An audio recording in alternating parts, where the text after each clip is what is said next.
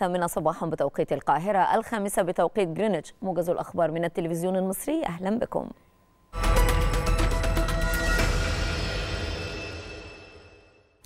تقدم الرئيس عبد الفتاح السيسي بالتهنئة إلى رئيس الوزراء الهندي ناريندرا مودي بمناسبة تجديد الشعب الهندي الثقة في قيادته لفترة ولاية جديدة.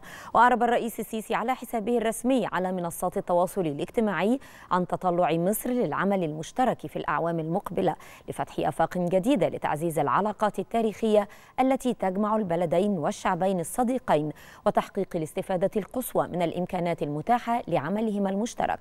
متمنيا التوفيق والسداد لرئيس الوزراء الهندي ولشعب الهند الصديق المزيد من التنمية والرخاء.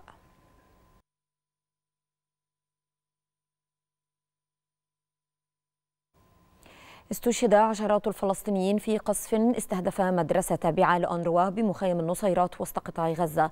وقالت السلطات الصحية بغزة إنها تتوقع ارتفاع عدد شهداء مجزرة الاحتلال الجديدة بالنصيرات بسبب العدد الكبير من الإصابات الخطيرة والحرجة. هذا وأوضحت مصادر فلسطينية أن قصفا جديدا استهدف حي تل السلطان غربي رفح الفلسطينية ما أسفر عن شهداء ومصابين. كما استهدف قصف إسرائيلي مناطق معا والقرار حرارة شرقي خان يونس.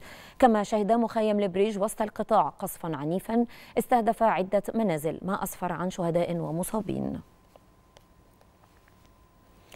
ألقت الشرطة, الأمريكية القبض على أكثر من 12 شخصا في جامعة ستانفورد بكاليفورنيا بعدما احتشد الطلاب المنددون بالحرب الإسرائيلية على قطاع غزة معتصمين داخل مكتب رئيس الجامعة ومطالبين الجامعة بسحب استثماراتها من الشركات المرتبطة بالحرب الإسرائيلية في قطاع غزة.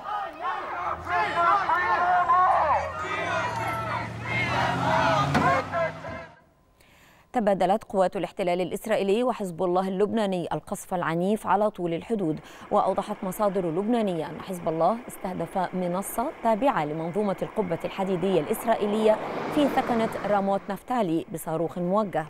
كما نفذ حزب الله هجوما جويا بالطائرات المسيرة ضد هدف عسكري في شمال إسرائيل. في حين أعلنت مصادر إسرائيلية إصابة 11 شخصا في هجوم بالطيران المسير شمال إسرائيل. من جانبه قال رئيس الوزراء الإسرائيلي بنيامين نتنياهو خلال زيارته للمنطقة الشمالية إن إسرائيل جاهزة لعمل قوي ضد لبنان.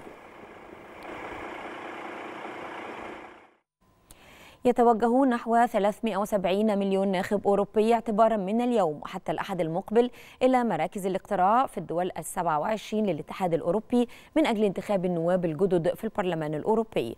ويختار الناخبون 720 عضوا بالبرلمان الأوروبي في ستراسبورغ بين آلاف من المرشحين من أحزاب اليمين والوسط واليسار وسط مخاوف من صعود اليمين المتطرف.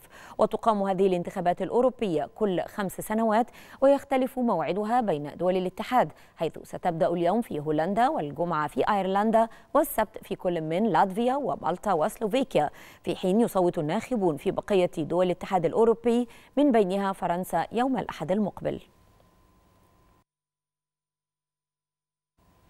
وقعت مؤسسة حياة كريمة وشركة روش للأدوية شراكة استراتيجية تتيح الوصول إلى أفضل معايير الرعاية الصحية في المناطق والقرى الأكثر احتياجا لتصل إلى المرضى في جميع أنحاء مصر. وأكدت رئيس مجلس أمناء مؤسسة حياة كريمة عهود وافي أن المؤسسة تسعى إلى توحيد الجهود بشكل عام فيما يخص الدعم الطبي لخدمة المواطنين داخل القرى الأكثر احتياجا عن طريق تعزيز الشراكات ودمج الجهود بين المجتمع المدني والقطاع القطاع الخاص.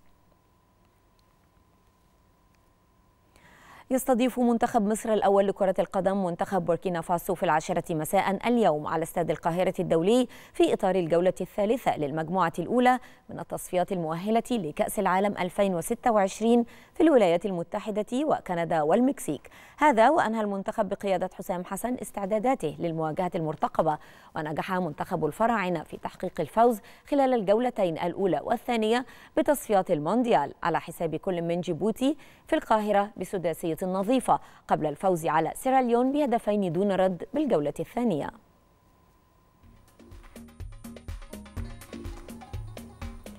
انتهى موجز الثامنة وعودة لاستكمال باقي فقرات برنامج صباح الخير يا مصر بعد الفاصل.